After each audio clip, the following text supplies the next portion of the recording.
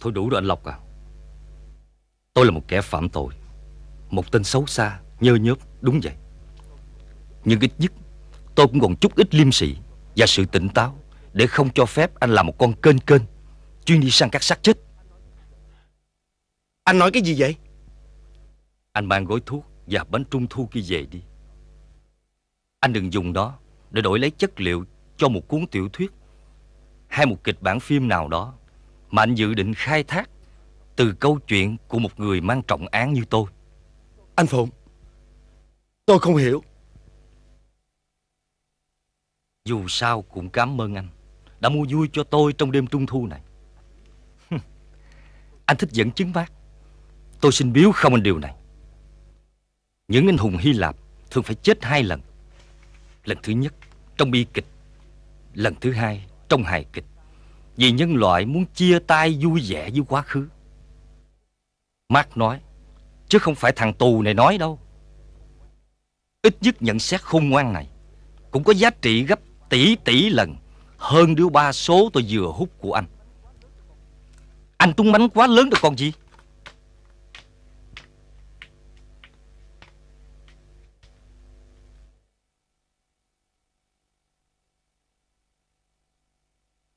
Mày ra biểu con nhỏ mới Sài Gòn xuống. Vô đây. Anh Sáu không sợ chị Sáu biết sao? Tao kiếm được cớ biểu bả lên thị xã rồi. Lẽ lên. Anh Sáu nên nhớ rằng Mấy người đẹp từ thành phố á Có mạc lộ thì mới chịu xuống nước về đây làm ăn. Con nhỏ đoan trang chắc cũng vậy thôi. Hết đường quậy rồi mới trôi dạt về nơi khỉ ho cò gái này. Mày khỏi dạy khôn tao. Ra kêu nhỏ đoan trang vô đây. Dạ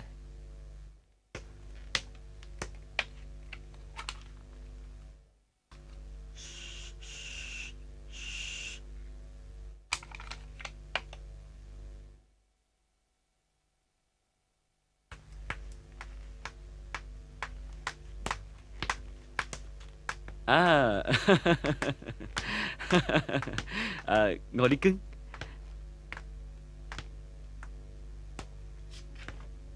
Dạ Ông chủ kêu em lên có chuyện gì vậy? À Anh nghe chị Hai Bạch Tuyết Kể về em. Hòa muốn nói chuyện vui vẻ với cưng thôi mà. Uống đi cưng. Cảm ơn em không khác.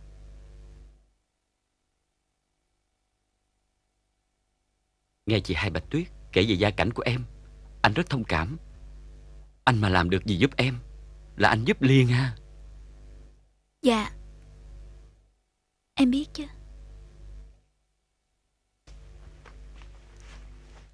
Có chuyện gì Em cứ nói. Kẹt đâu qua gỡ đó mà.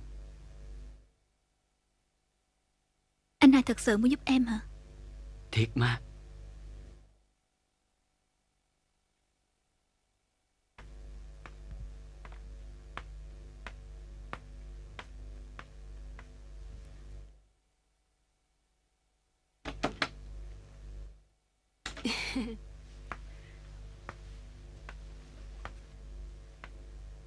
anh lần đầu.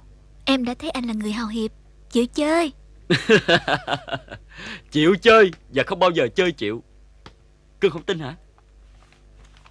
Đây. Đâu có được anh hai. Lỡ chị hai thấy kỳ lắm á. Cưng yên chí Bà xã anh đi công chuyện.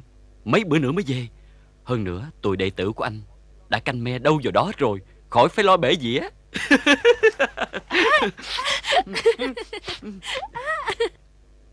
Bác Năm biết không? Con vừa chân ướt chân ráo Nhận quyết định về nhà văn hóa tỉnh. Mấy anh đã giao ngay cho con dự thảo kế hoạch tổ chức liên quan hát dân ca. Bác Năm coi giùm con. Như vậy đã ổn chưa?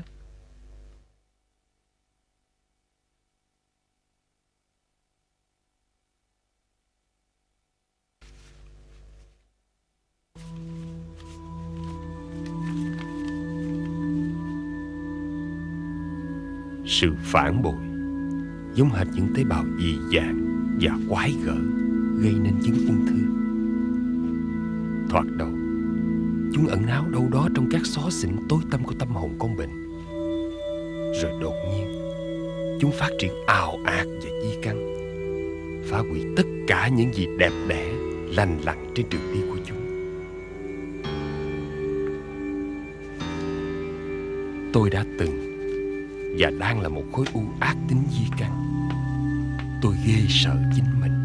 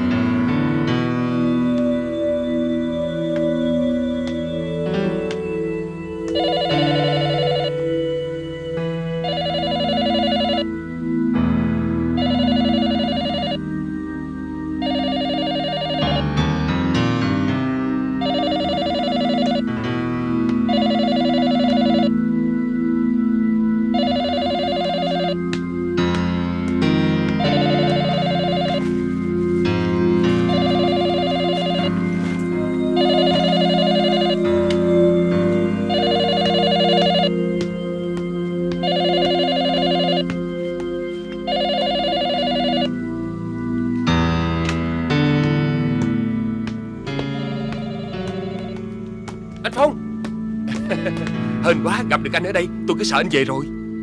Anh tìm tôi có chuyện gì vậy? Xin chúc mừng sếp. Mừng tôi à? Sếp có tên trong danh sách ứng cử viên quốc hội khóa tới. Chỉ còn chờ mặt trận tổ quốc tỉnh Hiệp thương lần cuối. Cảm ơn anh đã cho tôi hay. Chào anh.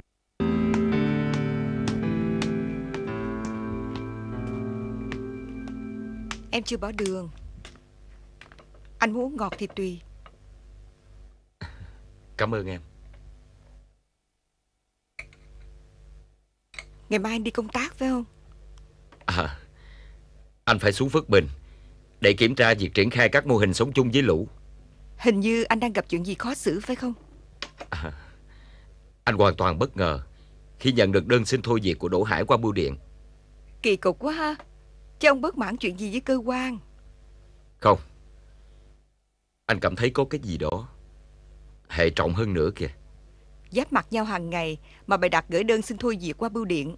Mấy ông khoa học gia cứ như con nít vậy.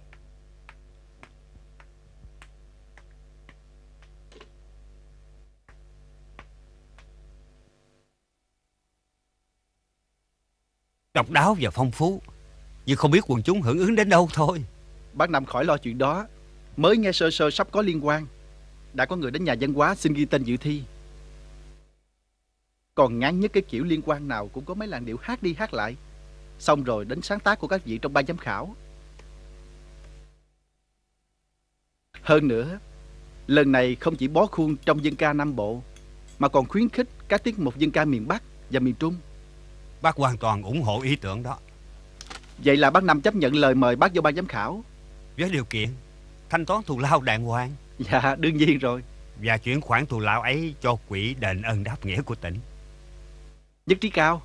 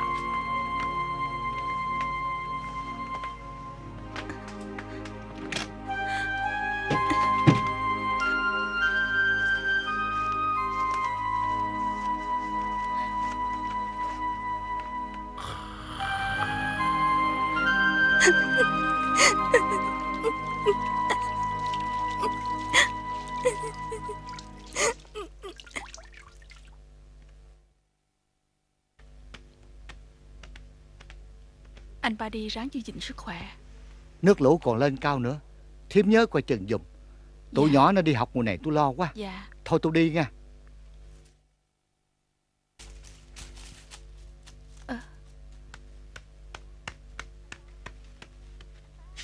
Anh ba. Anh ba. Anh để quên cái nón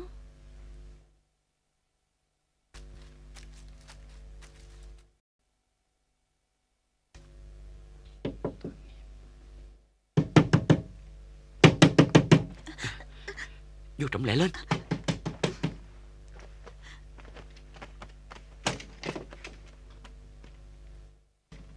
Bà xã tao về hả? Dạ không. Trời đất Vậy mà mày đập cửa làm tao tưởng đâu con sư tử nhà tao sống chuồng. Tính nhảy vô ăn thịt tao chứ. Dạ Có bà nào gọi điện thoại cho ông chủ? Alo. Dạ chị ba phải không? Dạ em Sáu Thanh đi. Dạ Dạ Em nghe rõ tiếng chị ba lắm. Dạ Dạ Chị ba yên chí đi. Em sẽ đi ngay mà. Dạ Dạ.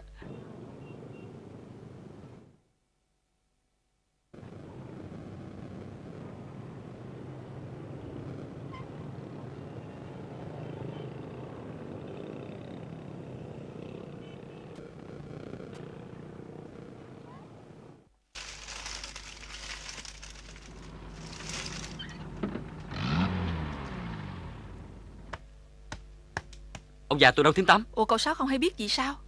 Biết cái gì mới được chứ? Cô Hạnh viết thơ về Nói là người ta sắp xử anh hai cậu. Thành ra sáng sớm ông ba lên bến đón xe đò đi rồi.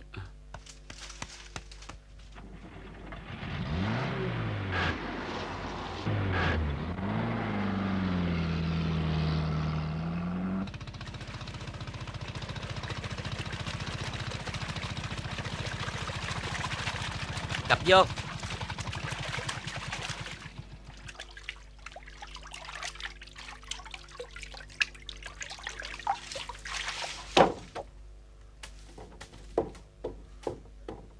Huyện đã ký hợp đồng thuê sáng cạp xúc đất dược nền cho dân chưa anh Tám.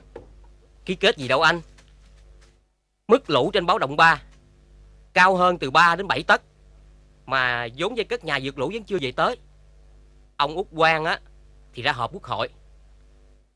Cả huyện có 10.000 nhà bị ngập 2.700 hộ Phải di dời gấp, Gần 2.000 hộ đói. Dịch sốt xuất huyết lan rộng, Mấy ông dưới xã nháo nhác chạy lên huyện Kêu như cháy nhà. Tôi chạy sang ngân hàng thúc khối Họ vẫn tỉnh khô Biểu chờ đi có quy định mới mới cho phép tụi tôi cho các hộ nông dân vay mà không cần đầy đủ giấy tờ, tụi tôi làm ngay. Còn bây giờ kẹt cứng, xé rào dễ vô hộp lắm. Đồng chí chủ tịch huyện thông cảm.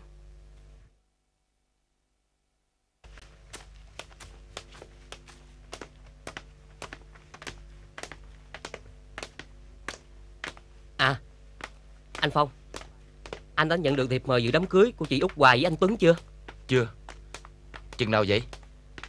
Tuần sau Chắc họ nghĩ anh là khách mời đặc biệt Nên không muốn gửi bưu điện Mà phải trao tận tay.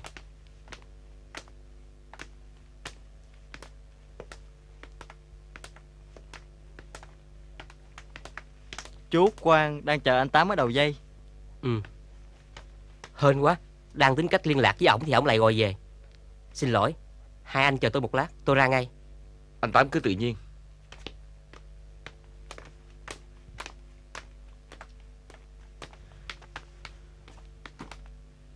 Anh nhận được thư của tôi rồi chứ? Tôi nghĩ Xin lỗi. Chuyện tôi xin thôi việc Không có gì để bàn cãi nữa. Anh có chấp nhận hay không Thì mọi chuyện cũng không có gì thay đổi hết. Có thể coi chuyến công tác này Là chuyến đi cuối cùng của chúng ta. Tôi chỉ xin anh coi những gì tôi phát họa trong này là những ý tưởng để tham khảo.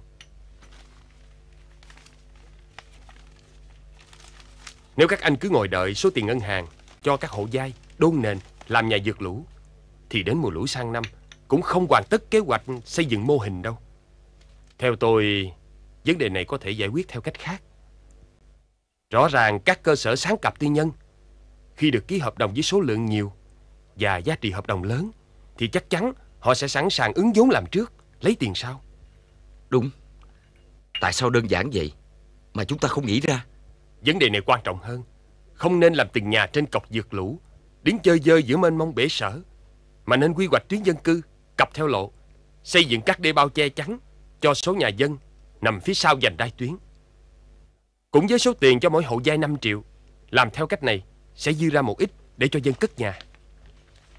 Tôi thử phát họa sơ đồ Kích thước Và số lượng hộ dân trong từng cụm như thế này.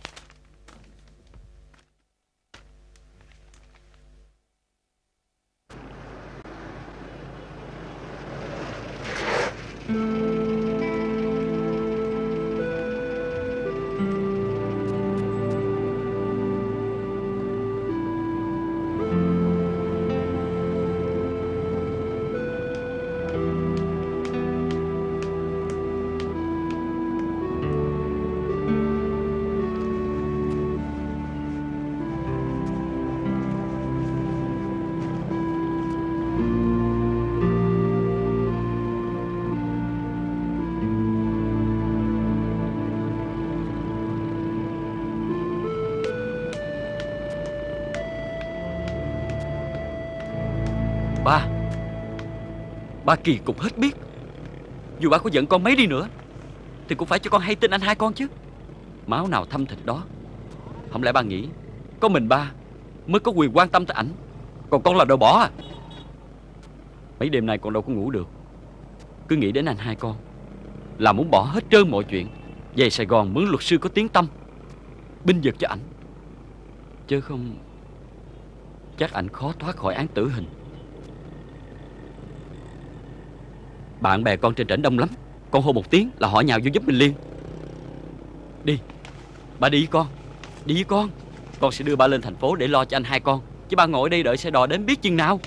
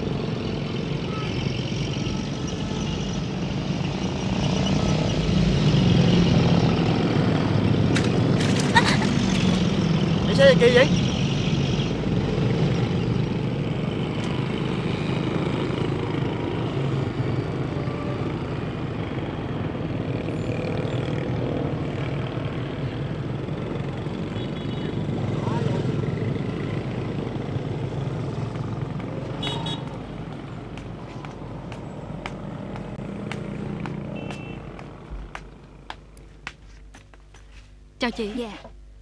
Em muốn gửi tiền. Dạ. Điền vào đây. Ghi rõ phần ở dưới nha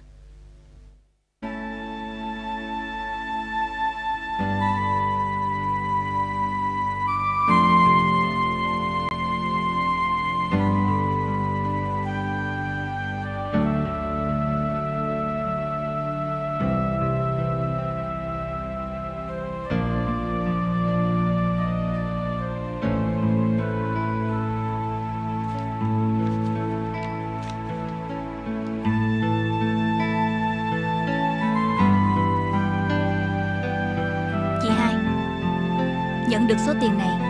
Xin chị mua ngay thuốc chữa bệnh cho má và thằng Út. Chị mà để lọt một xu vô tay thằng chồng chó má của chị, Thì chị đừng trách tôi. Tôi sẽ giết hắn đó. Xong rồi chị. Dạ. Chị cho em gửi.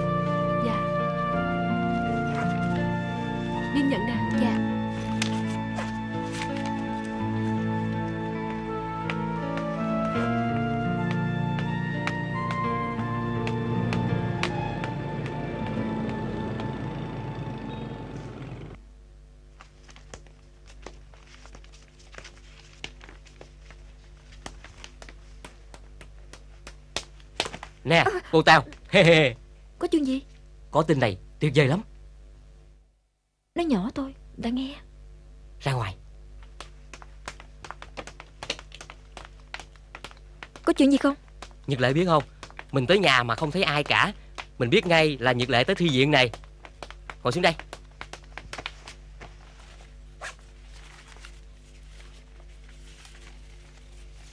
Bồ có biết lá này lá gì không? Là cái lá cây.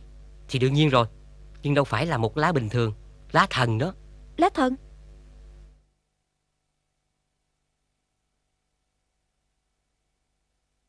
Mới nhìn lá này Cũng như mọi lá bình thường khác. Nhưng đây là loại lá đặc biệt Người Lào gọi là tu linh. Tu linh có nghĩa là con khỉ.